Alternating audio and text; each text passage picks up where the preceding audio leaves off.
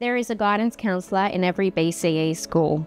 Our job is to support the students, the staff, and the parenting if there's any issues of bullying. Bullying behaviours are repeated, ongoing, aggressive, unkind behaviours that are intentional and where there is a power imbalance. Bullying is not the same as social disagreements, conflict, meanness, rudeness, or not liking someone. However, all of these conflicts will still be taken seriously and dealt with. Bullying can have a significant impact on students' mental health. Research shows us that students who have experienced bullying can have increased anxiety, depression, and low self esteem. So it's really important in BCE schools that we create a supportive and safe environment for all our students. If you are concerned that your child is being bullied, please let your school know.